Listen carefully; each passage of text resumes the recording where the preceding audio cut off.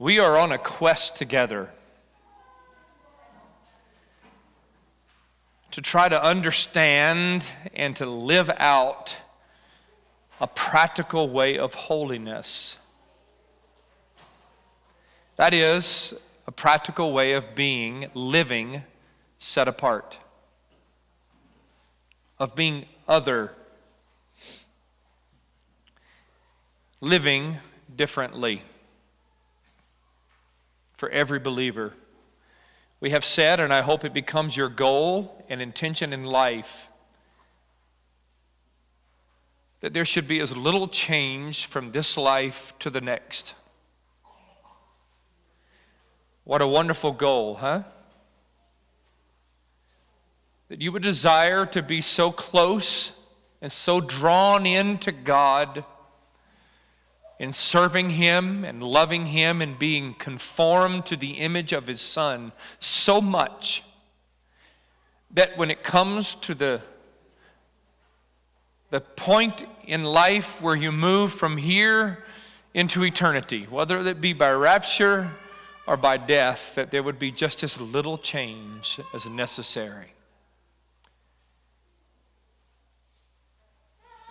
As we'll see today in our text, Someday we will appear as he is. We will appear with Christ, who is our life. And so, why not act that way now? I mean, why not? You have learned over this uh, long series that uh, you have been given everything that you need to do so. Everything is yours, available to you right now. The question is that we have to ask ourselves is are we willing to open ourselves up to the horrible, beautiful conviction of the Holy Spirit in our lives? To the point that we would be sensitive to even the smallest of sin. Be careful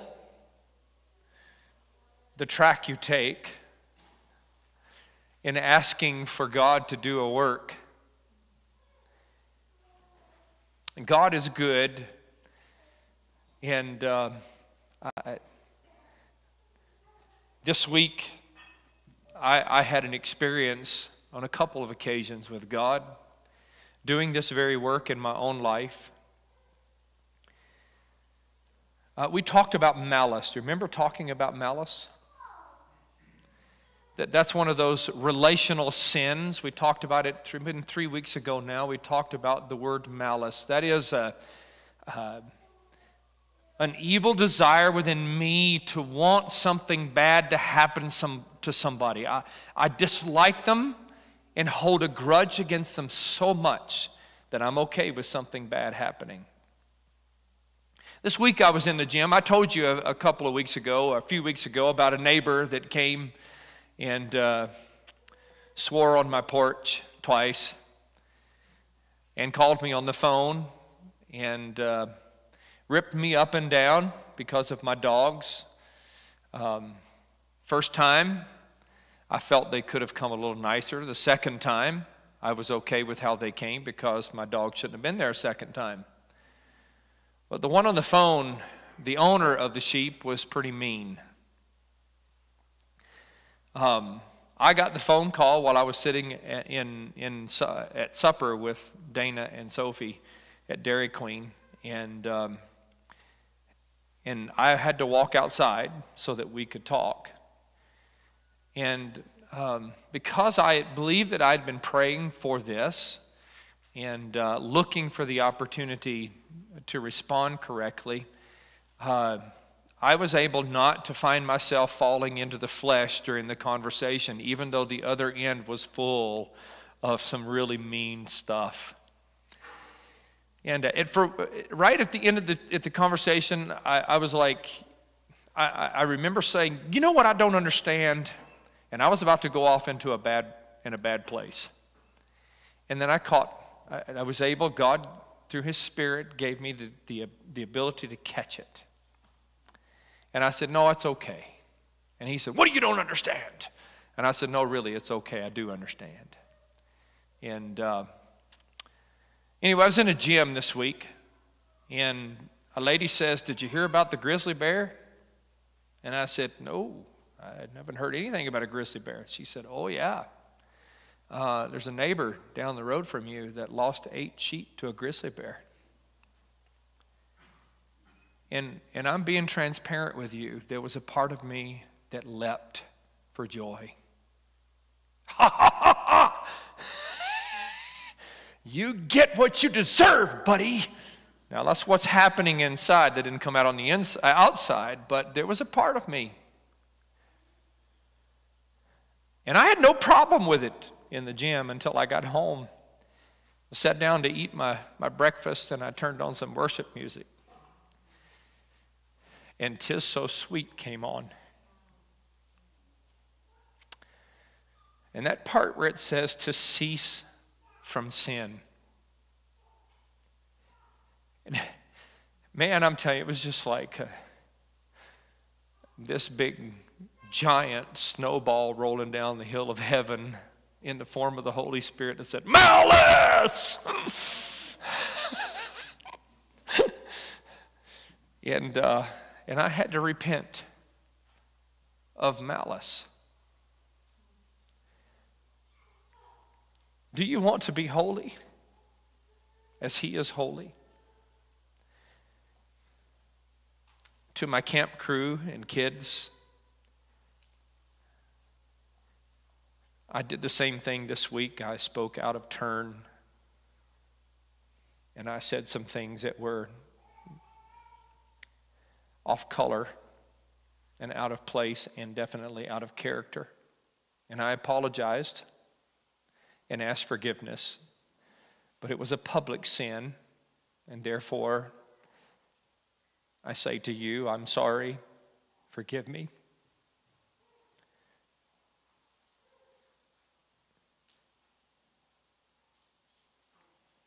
That's not just a job for the preacher. It is not just a preacher's job to to make himself available to the Holy Spirit to bring conviction and then respond to that conviction. That is not just my job. Every one of you who have faith in the forgiveness of Christ and have been called the son of and the daughter of God have exactly the same responsibility. God did not do that for me because I'm the preacher. He's done that because I'm saying, Lord, I want to be conformed. I want to, I want to live out your command, and that's what you should be doing along with me. It is, as I said yesterday to Renee, I really hate the conviction of the Holy Spirit. But I love it because it's, it's horrible and beautiful all at the same time. Are you willing to walk that road together individually and together. Are, are we willing to do that so that God can, can clean us up? So God can conform us to the image of His Son. Are you willing to be so worked on between now and the time that you leave this place that there is as little change as necessary? Read with me Colossians chapter 3. We're going to read all the way through verse 17. We are going back today to the old fashioned way of doing things. If you're online and you're watching, you got to get your Bible out. Uh, and if you're here today and didn't bring it because you got lazy because I've been putting them up there, you're out of luck. Yeah, there's Bibles in the back. Colossians chapter 3. We're going to read through verse 17 because over the next couple of weeks we're going to be going through this. If then you were raised with Christ, seek those things which are above, where Christ is, sitting at the right hand of God. Christ is no longer in the grave, He is not on a cross, He is on the throne at the right hand of the Father. Set your mind on things above, not on things on the earth. Take note of the word earth. Set your mind on things above, where Christ is, not on the things of the earth. For you died. Why do we need to put our mind on things that are above? Because you died. Your old flesh nature, your earthly nature has died in Christ. Look what he says. For you died, and your life, your life is hid in Christ, in God, hid with Christ in God. When Christ, who is our life, appears, then you also will appear with him in glory. So why wait until then to live like it? Verse 5 now, you're going to notice as we get to verse 5, you're going to notice a list of 10 negative things, things that you should not do, okay? There's a list of 10 things that we as believers should not do. And remember last week I said there's a positive, negative duty and a positive duty in most all of these uh, sections of scripture, scripture that we're going to be covering. And so you're going to see that today because there is a the negative as we read through. We're going to we're going to just get through verse uh, six or seven today. Six. No, I'm sorry. Eight. No, seven. That's right. We'll get there. Verse seven. We're going to get through verse seven today. But you're going to see that there's this list of ten things that we are to not we are not to do. That's the negative. And then there's the list of 10 things that we ought to be doing uh, in the positive okay? And almost every scripture you see god gives a list. It's always that way. Positive negative. Do don't do okay? So let's read verse 5 therefore put to death or mortify your members which are on the earth Let, let those words sink in. Therefore, put to death your members which are on the earth fornication, uncleanness, passion, evil desire, and covetousness, which is idolatry. Because of these things, the wrath of God is coming upon the sons of disobedience, in which you yourselves once walked do you hear what Paul's saying? Wrath is coming on the sons of disobedience, but you are no longer one of those sons. Therefore, mortify the deeds of the flesh. Now, watch what he says in verse 8. But now you yourselves are to put off all of these. Now we're going to go to these relational sins once again anger, uh, wrath, malice, blasphemy, filthy language out of your mouth. Do not lie to one another, since you have put off the old man with his deeds, and have put on the new man who is renewed in knowledge according to the image of him who created him. Where there is neither Greek nor Jew, circumcised nor uncircumcised, barbarian, Scythian, slave, or, nor free but Christ is all and in all. Therefore, as the elect of God, holy and beloved, put on tender mercy, mercies, kindness, humility, meekness, long suffering, bearing with one another, and forgiving one another if anyone has a complaint against another. Even as Christ forgave you, so also you must do. But above all these things, Put on love, which is the bond of perfection, And let the peace of God rule in your hearts, to which also you were called in one body, and be thankful. Let the word of Christ dwell in you richly in all wisdom, teaching and admonishing one another in psalms and hymns and spiritual songs, singing with grace in your hearts to the Lord. If you didn't know that you had a mandate to sing, they have a mandate to try to make us not sing. We have a biblical mandate to sing. Verse 17, and whatever you do, in word or deed, do all in the name of the Lord Jesus, giving thanks to the God, to God the Father through him. Let's pray. Father, thank you for your word. I pray that you would have your way with us, in us, and through us. God, may your Holy Spirit be our teacher. May anoint the words that come and the words that are, that are brought into the ears and to the heart, may they be anointed by him so that they can have an eternal work in us. God, I pray that you would shape us, mold us, and make us every day more like Jesus. May we be sensitive to the sins, God, that you have felt uh, strongly enough to list in your scriptures that we should not be doing as believers. I pray that we would pay attention to what you say. We ask these things now in Jesus' name. Amen. Let's look first. um, he says, therefore. Look at verse 5. Therefore. Why do we all, we always want to find out what the therefore is there for, correct? So, therefore is going to point us back up to verses 1 through 4. So let's, let's nail down why we need to live like this or why we need to mortify, why we need to, to kill the deeds of the flesh. So let's look at that first in verses 1 through 4. First of all, he says, You were raised with Christ. The first point is, You were raised with Christ. Look at it, verse 1.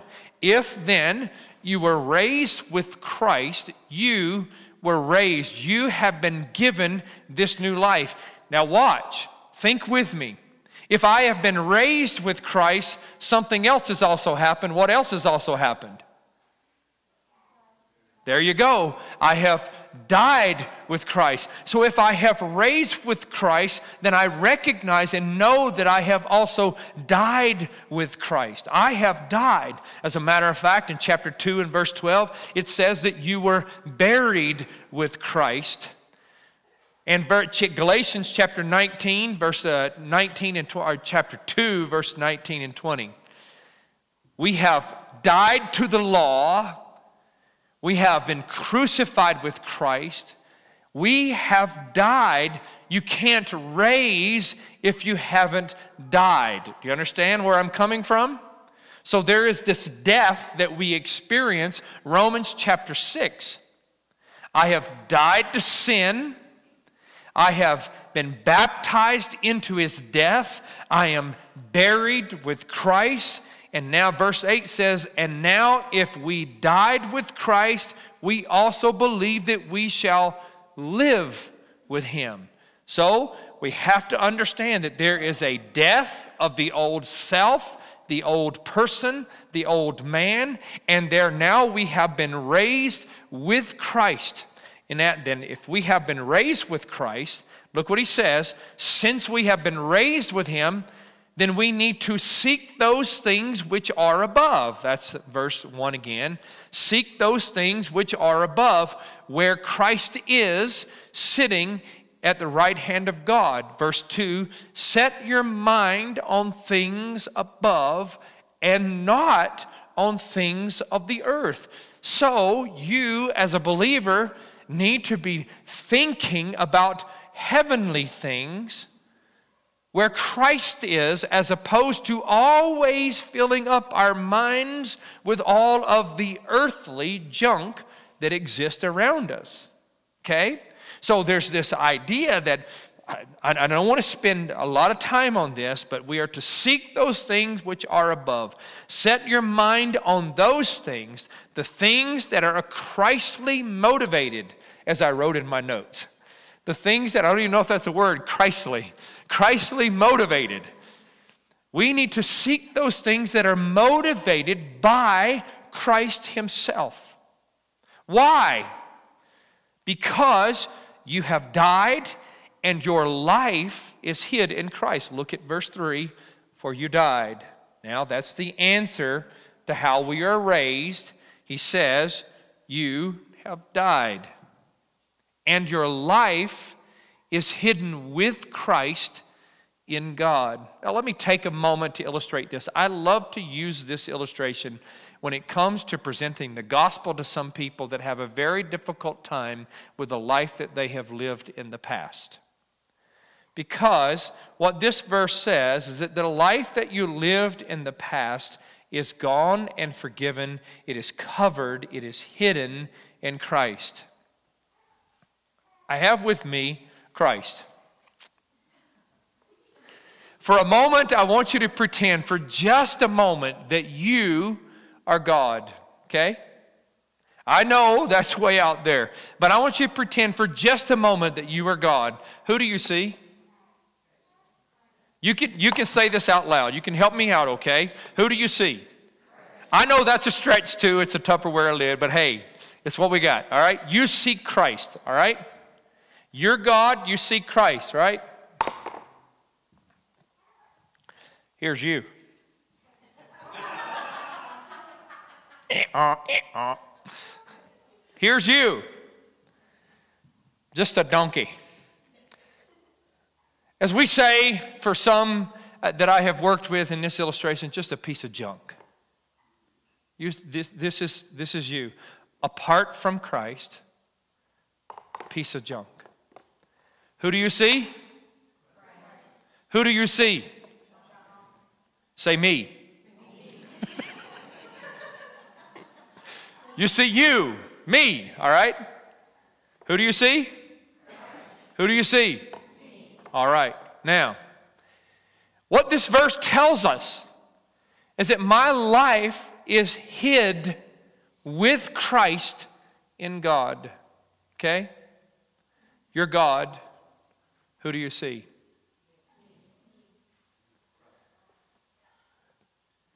Who do you see? Wait a minute. But where are you? You're hidden. You are in Christ, as Ephesians teaches us, right? And so your life is hid in Christ, hidden with Christ. And when God looks at you, he sees his glorious Son. Oh, a thought that is too high for me to attain, as we read in Psalm. Can, does that not blow your mind? It does me that when, when God looks at this old sinner, that he sees his son. Now, that out of the way.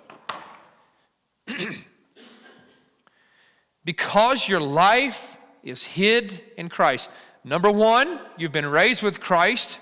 Number two, you are to seek those things which are where Christ is, that are motivated by Christ.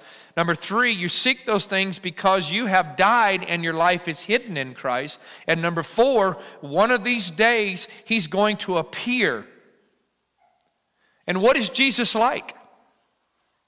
You have to answer that question. What is Jesus like? Who is He? And what is He like? And all that He is, everything that He is, the verse there says that He is our life. He is our life. Not only is our life hidden in Christ, but He is our life. Everything that He is, is you. That's what the Bible is teaching us. Our life raised from the dead. It's our life right now. Look what it says. Look at verse, uh, verse 4. When Christ, who is, who is our life. It didn't say who will become our life, who may be our life, someday can be our life, or was our life. What does it say?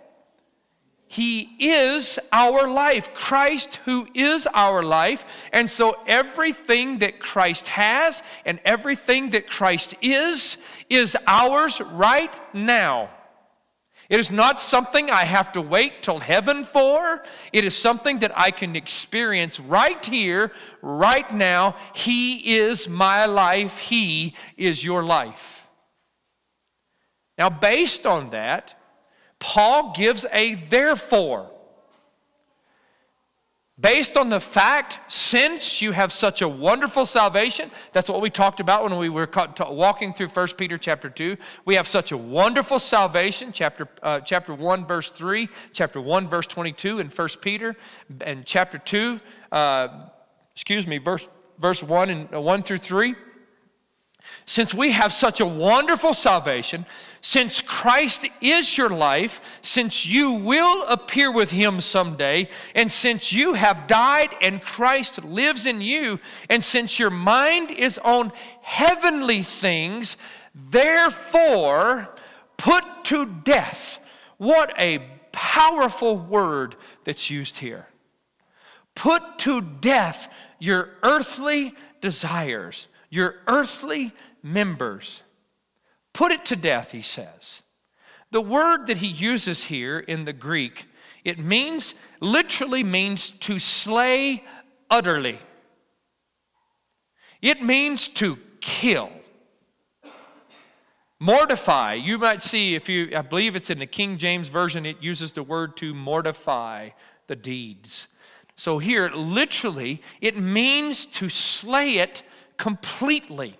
We are to kill everything that is earthly in us. All of those earthly desires, we are to kill those. Because we are already dead in, and raised in Christ, now we are to kill those things that are earthly in us. We are to kill those things. Chapter 3 verse 1 and 2 speaks of the things that are above. So, verse 1 and 2 there, it speaks of things that are above. Uh, but we're talking, verse 5 speaks of the earthly nature. So we're talking about a heavenly nature, and we're talking about an earthly nature that is bent towards sin. Romans speaks of yielding your members as uh, uh, instruments of unrighteousness, that whoever you yield your members to, you become its slave. And so he says, kill those earthly desires, utterly slay them. Well, we're going to offer excuses to that. We're going to say, You don't understand, Pastor. You, you, really don't, you really don't understand. I just can't beat it. I, I just can't overcome that. Its pull is way too strong in my life. I just can't quit. I don't know that it's that you can't. Is it that you can't or that you won't? Because Ephesians chapter 1, turn back just a few pages to Ephesians chapter 1. Oh, I can hear the sound of pages turning. I love it. We'll, we'll jump up to verse 17 that the God of our Lord Jesus Christ, the Father of glory, may give you the spirit of wisdom and revelation in the knowledge of Him the eyes of your understanding being enlightened, that you may know, that you may know, that you may know, that you may know what is the hope of his calling and what is the riches of the glory of his inheritance, and that you may know, that you may know, that you may know what is the exceeding greatness of his power towards us who believe, according to the working of his mighty power. Now, we've covered this, but I want to remind you once again that you have been given everything you need to do exactly what the Word of God has told you to do. When the Word of God tells you to mortify those fleshly, earthly desires, when it says to do that, it is not saying that with a pie in the sky, I hope they can get it done. It's saying that with authority that you have been given the power from God, by God. It is His power, and you can overcome. You can do exactly what the verse says that we are to do and that is to kill utterly those things. You've been given that power. You've been given that access. And if you say, I can't, I can't, I can't, then you are not plugging in to the power source, to the generator. You're not plugging in. And it's not because you can't, it's because you won't. I want you to keep in mind, too, that this is not about keeping or maintaining your salvation. I want to consistently and constantly repeat this. This is not about keeping or maintaining your salvation or your position in God.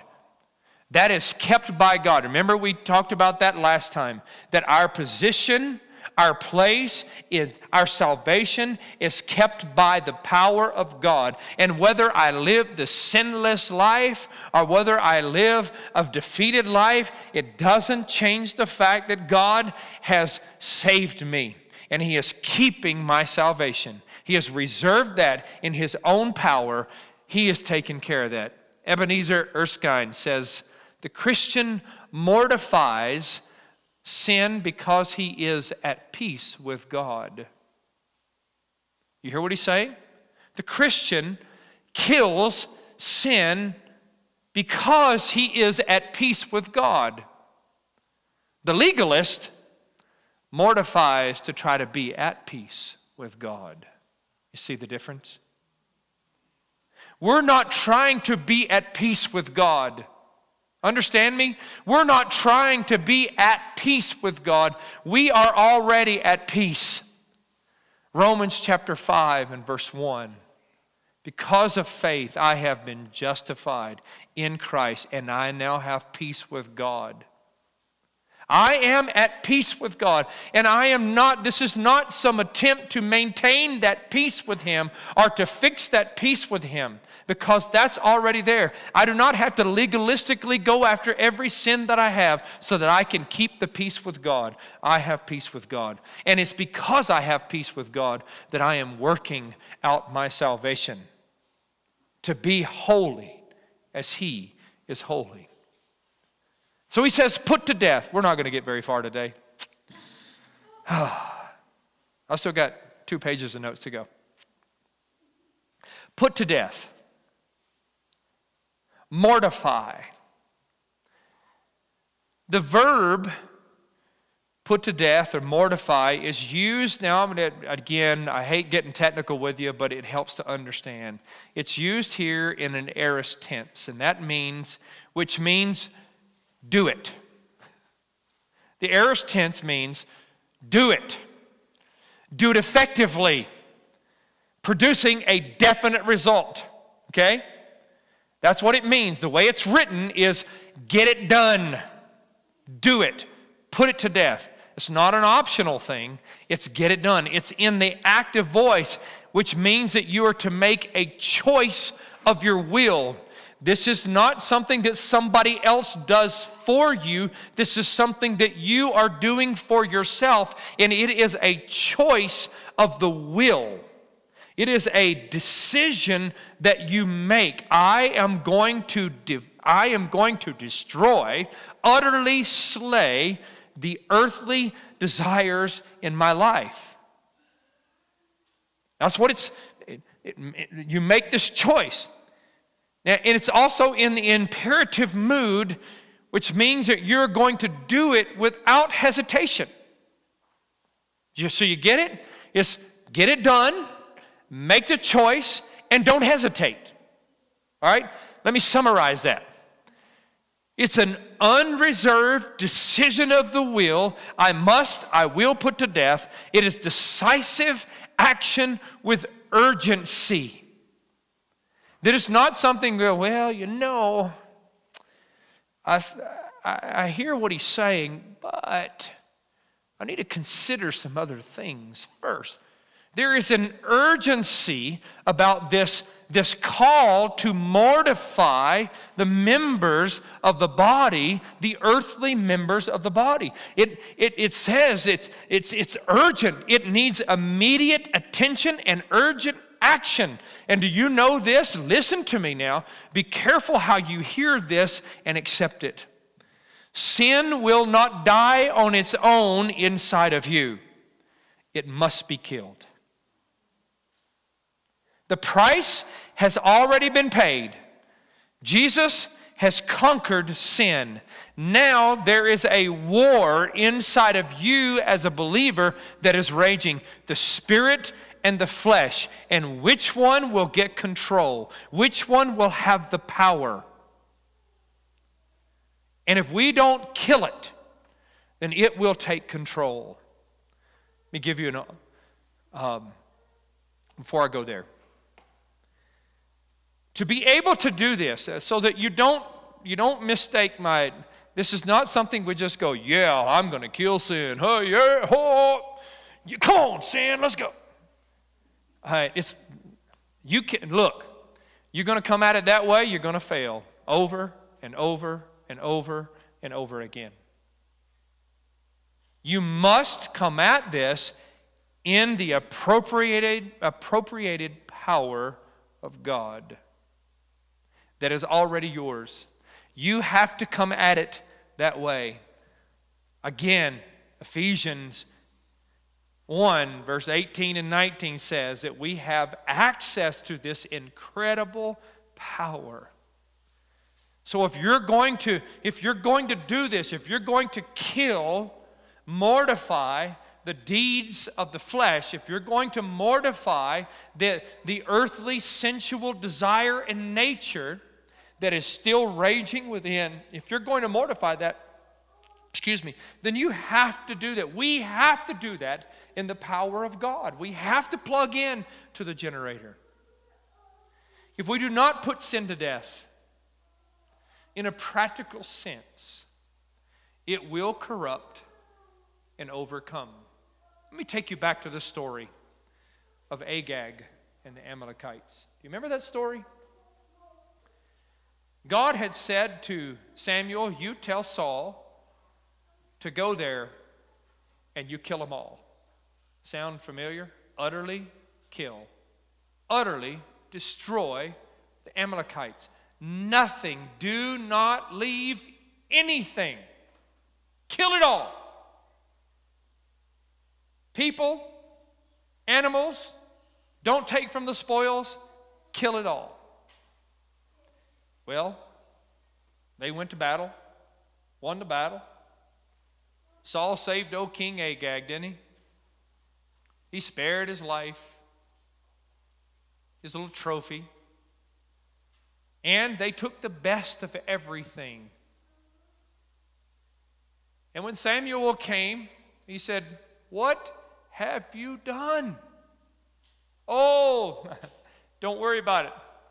We, we, we, we, took, we, we took all that stuff so that, that we could make sacrifices to the Lord. We did all that so we could make sacrifices to the Lord. Do you remember what Saul, Samuel said to Saul? God is not interested in your sacrifices. God is interested in your obedience. Obedience is better than sacrifice. And then, what did Samuel do? I know it's ugly, and it, we don't even want to talk about it. But you know what he did?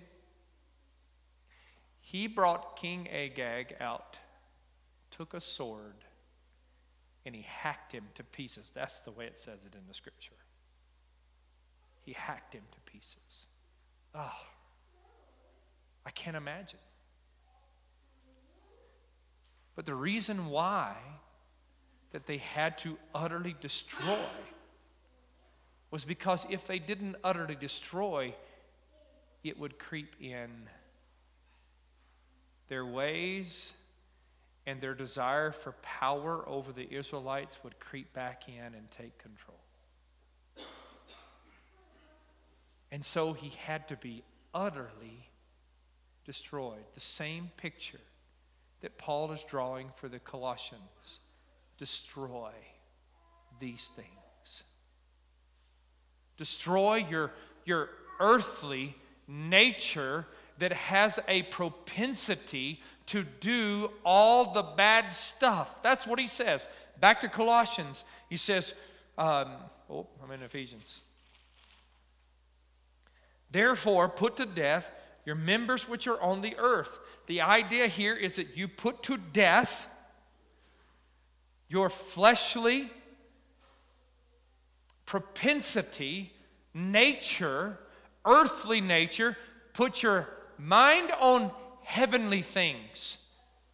Your heavenly nature needs to be pointed towards the heavenly things where Christ is. And down here in this earthly nature that has this drive to pursue sin, he says, kill it. Kill it. I'm going to stop here and pick up next week on the list of sins that we will, are to kill. But are you willing?